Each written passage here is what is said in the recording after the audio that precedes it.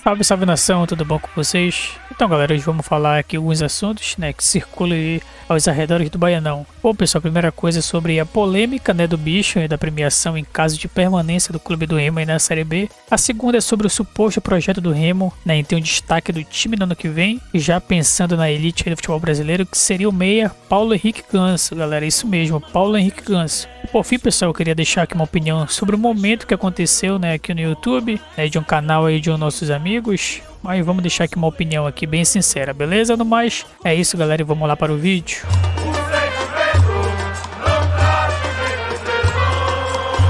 Bom pessoal, essa semana surgiu aí um assunto muito polêmico, né, que foi a premiação dos jogadores aí pela permanência na Série B. Lembrando pessoal que estamos na 32ª rodada e faltam 21 pontos para fazer e 7 para garantir a permanência sem depender de ninguém. Então aí no restante faltando 7 rodadas. Claro, galera, pode ser para mais, né, ou para menos esses 7 pontos, que no caso garante os 45 e teoricamente também nos garante a permanência na Série B. Mas o assunto em si, nação, é sobre a premiação. Você, torcedor, concorda com a premiação para o elenco e a comissão por fazer a sua obrigação? A gente vê desde o início aqui da temporada, né, que todos os discursos do Fábio Bente, da equipe de futebol, incluindo o time também, galera, jogadores no caso, deixou bem claro que o objetivo do Remo na temporada é a manutenção na Série B. Tanto, galera, que não foi colocado como título paraense, o título da Copa Verde, o acesso à Série A, né? Não, galera, o objetivo deste ano foi sim que era a manutenção na Série B. Então, galera, uma opinião, né? Claro, sempre deixa aí,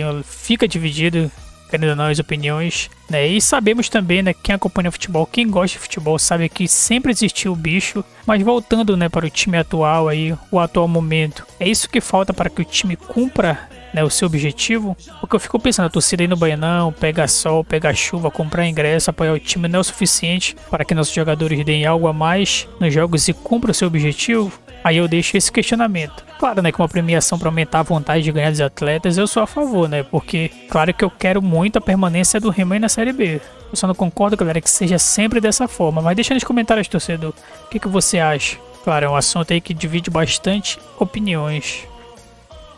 Bom, galera, agora mudando um pouquinho de assunto, vamos falar agora sobre o meia paraense aí, Paulo Henrique Gans. Então, galera, surgiu a notícia que o Remo poderia fazer um projeto, né, para contar com o jogador na próxima temporada. Todos nós sabemos aí do potencial do Paulo Henrique, né, se não fosse sua lesão no joelho, né, aquelas duas que ele teve gravíssimas, ele seria sem dúvida nenhuma camisa 10 hoje da seleção.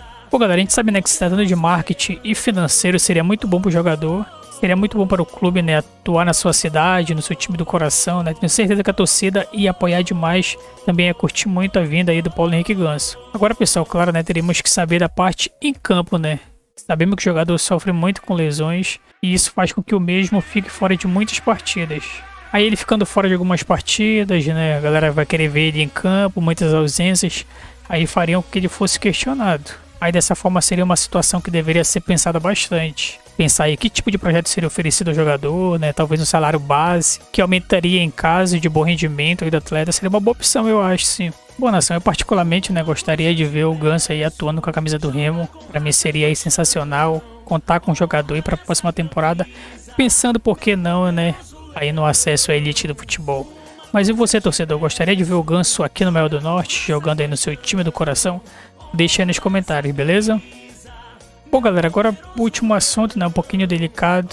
Eu não ia comentar, não, mas eu decidi aqui deixar minha opinião, né? Eu sei que o canal Sentimento não é o maior canal, né? Talvez também não seja o melhor. Mas assim, galera, eu faço trabalho para o Remo, né? E para os seus torcedores. No caso, são vocês aqui que me assistem, né? Quem gosta de acompanhar o canal. Galera, gosta de fazer esse trabalho, né? Eu tiro aí um tempo do meu dia, né? Pra estar tá aqui gravando, produzindo. Tudo para deixar o torcedor informado falar do time que eu amo, que é o Clube do Remo. Então, nação, foi comentado né, que a queda do Remo aí da Série B para a Série C seria o fim, entre aspas, aí da galinha do pote de ouro, né?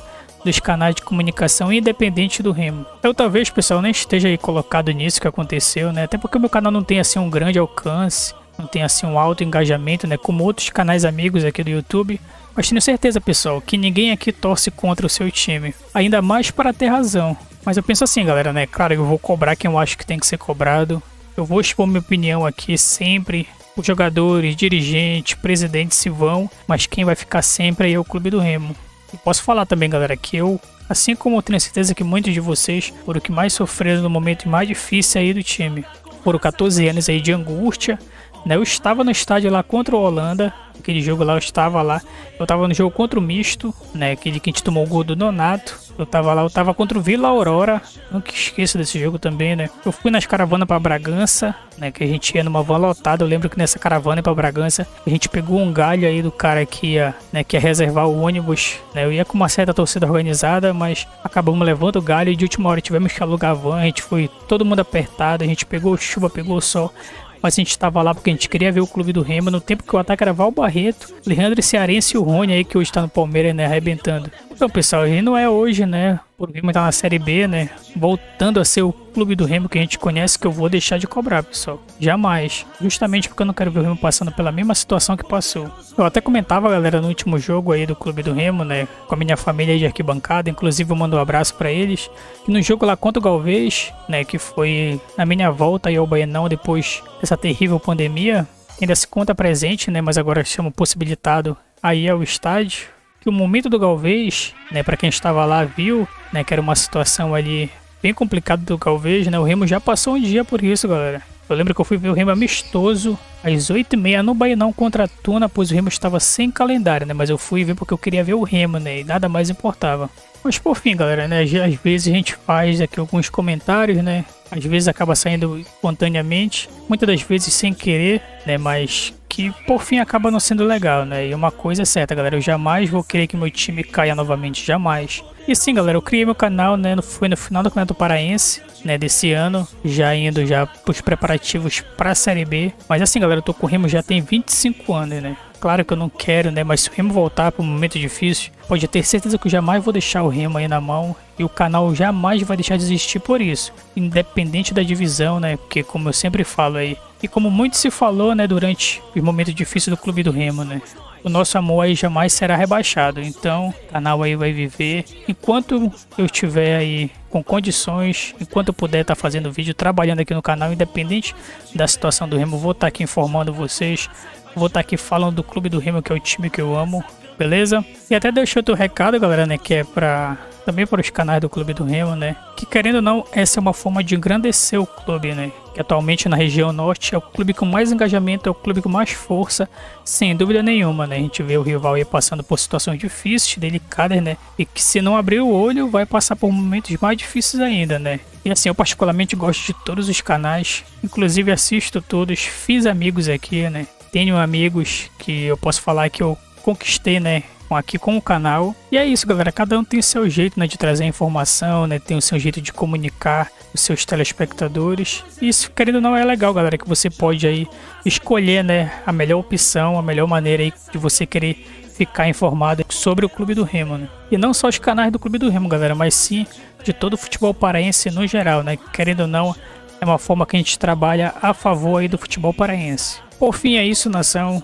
Queria agradecer aí quem me assiste. É, e peço também para vocês né, se inscrever aqui no canal Um Sentimento, né, que se fortalece demais. E se inscreva também nos canais amigos aí do Clube do Remo, nos canais aí do Futebol Paraense, que isso fortalece ainda mais o trabalho, beleza?